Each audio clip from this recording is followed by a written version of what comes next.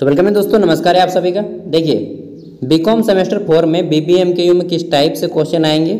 आपके entrepreneurship development में हम लोग इस वीडियो में पूरा सिलेबस जानेंगे, ठीक है? और यहाँ पे एग्ज़ाम में क्वेश्चन किस टाइप से आएँगे पेपर किस, कितने कितने नंबर का होगा, ठीक है?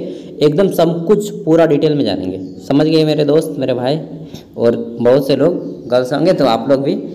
दोस्त मानता हूँ। चलिए, देख लेते हैं यहाँ पे कि आपका ये जो पेपर है बीकॉम में सेमेस्टर फोर में बीबीएम के यू में, यह रखा गया है एंटरप्रेन्योरशिप डेवलपमेंट बहुत से लोग रखे हैं, बहुत से क्या, लगभग 90 परसेंट रखे हैं 10 परसेंट इधर उधर रखे हैं.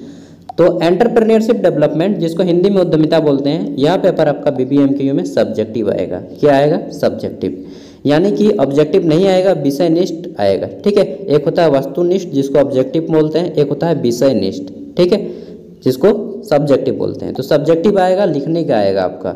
अब क्वेश्चन किस टाइप से होगा? उससे जानने से पहले हम लोग पहले जान लेते हैं कि सेक का फुल फॉर्म होता क्या है। कोई अगर पूछ दे आपको बेंच रास्ता पे, कि बताओ बाबू सेक का फुल फॉर्म क्या होता है? उस समय जो भी होता है, छोड़ो नहीं यार उसे नहीं छोड़ना नहीं है, बताना है। सेक का फुल फॉर्म होता है स्किल एनहेंसमेंट कोर्स ठीक है? स्किल मतलब होता है, क्या बोलते हैं? एक तरह से कला, ठीक है?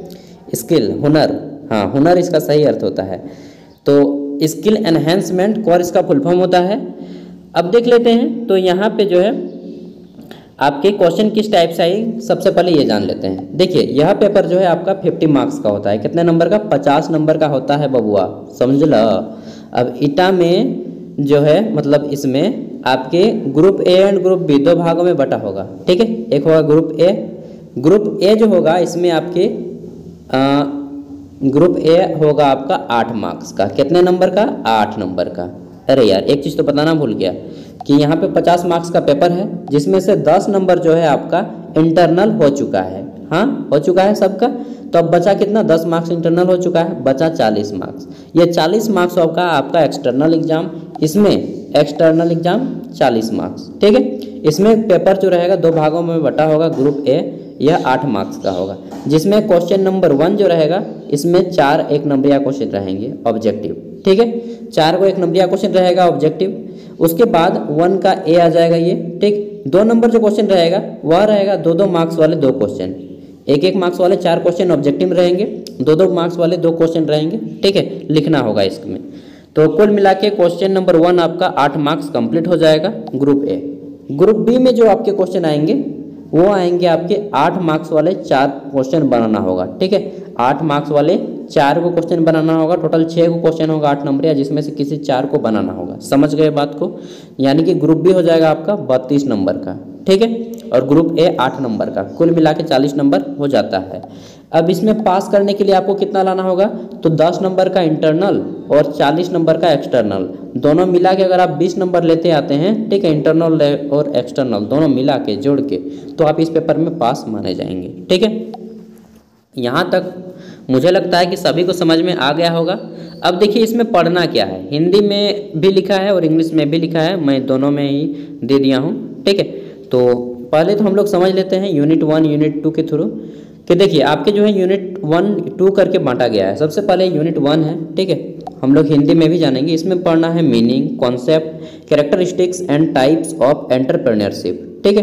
डेवलपमेंट ऑफ़ एंटरप्रेन्योरशिप फिर है आपका culture stage in entrepreneurship process ठीक है? अब देखिए, इसका हम लोग हिंदी जानते हैं, क्योंकि मैक्सिमम बच्चे जो है, वो हिंदी के ही हैं। जो भी इंग्लिश में है, वो अपना पढ़ लीजिएगा, ठीक है? मैं अभी हिंदी में ही मैक्सिमम चीज़ें बताऊँगा।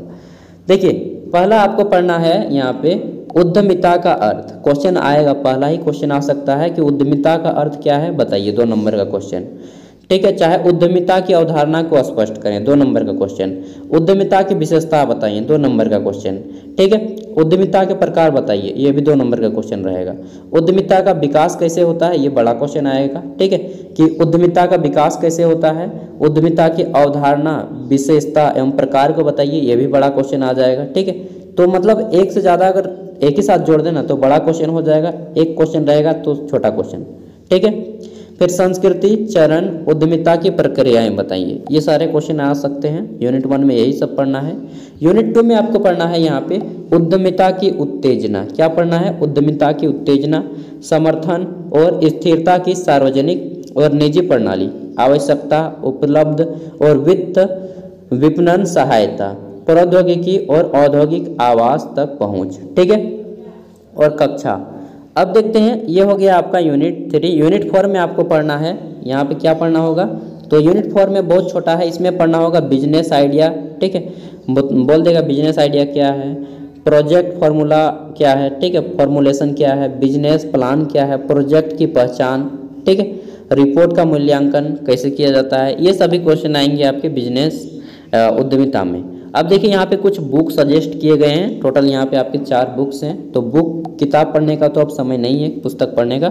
अब आपके पास जो गैस पेपर है, उस गैस पेपर को पढ़ लीजिएगा। गैस पेपर भी नहीं है तो इंटरनेट से पढ़ लीजिएगा। और मैं प्रीवियस ईयर क्वेश्चन पेपर जो अगले साल बी बी में पूछा गया था, जल्द ही अपलोड कर दूँगा। ठीक है मेरे भाइयों, दोस्तों, बहनों, ठीक है? अब देखिए, यहाँ पे मैं कुछ चीज़ें बता रहा हूँ, इसको ध्यान से सुनिएगा। तो पर्दे के पीछे अभी जिसको सुन रहे थे वो मैं ही था। देखिए दोस्तों, आपको जो है इसमें क्वेश्चन जितने भी आएँगे, सब टच कर जाएँगे जो प्रीवियस ईयर क्वेश्चन पेपर देख लीजिएगा तो ठीक है? इसमें क्या करना है आपको? देखिए प्रीवियस ईयर क्वेश्चन पेपर देखना है और यहाँ से भी आप लोग जहाँ से भी कंप्लीट कर पाएँ क्वेश्चन का आंसर कैसे करना है वो मैं बता रहा हूँ ढंग, ठीक है? जैसे दो मार्क्स का क्वेश्चन आएगा, उसका आंसर आपको मैक्सिमम दो से तीन लाइन में करना है, उससे ज़्यादा नहीं लिखना है, ठीक है? यानी कि एक पेज है ना, एक पेज में दो दो मार्क्स वाले दोनों को हटा देना है। ठीक तीन लाइन, चार लाइन, फिर तीन, चार लाइन छोड़ना है, फिर तीन, चार लाइन में उसका आंसर कर देना है। यानी कि आधा आधा पेज मैक्सिमम ठीक है? दो दो मार्क्स का जो चार पेज है, एक खड़ा पन्ना के एक ही साइड में, एक खड़ा पन्ना में दो पेज होते हैं, एक ही साइड में दोनों दो दो मार्क्स वाले को कर देना है। अब बचे आठ आठ मार्क्स वाले, आठ आठ मार्क्स वाले का आंसर आपको करना है कितना? तो एक खड़ा पन्ना के दोनों साइड में, एक खड़ा पन्ना के दोनों साइड में, बस इतना। अगर आपने लिखने की स्पीड ज़्यादा है तो एक खड़ा पन्ना का दोनों साइड और दूसरे खड़ा पन्ना का एक साइड में कर सकते हैं। ये आपका आठ मार्क्स का। ठीक है उससे ज़्यादा एकदम नहीं लिखना है क्योंकि आपके पास समय मात्र कितना मिलेगा मालूम है? समय मिलेगा डेढ़ घंटा ठीक है? और इतने क्वेश्चन आपको करने होंगे। तो उम्मीद करता हूँ कि वीडियो हेल्पफुल रही होगी आप लोगों के लिए एंड नेक्स्ट जैसे ही मुझे समय मिलता है या फिर आ, जो भी हो मैं जैसे भी करके आपको जो है क्वेश्चन दे दूँगा प्रीवियस ईयर का अपलोड कर दूँगा ठीक है? थैंक यू बाय वीडियो को देखने के लिए धन्यवाद। मिलते हैं अगले वीडियो में और इसका पीडीएफ का लिंक वीडियो का डिस्क्रिप्शन में होगा वहाँ से डाउनलोड कर सकते हैं ठीक है?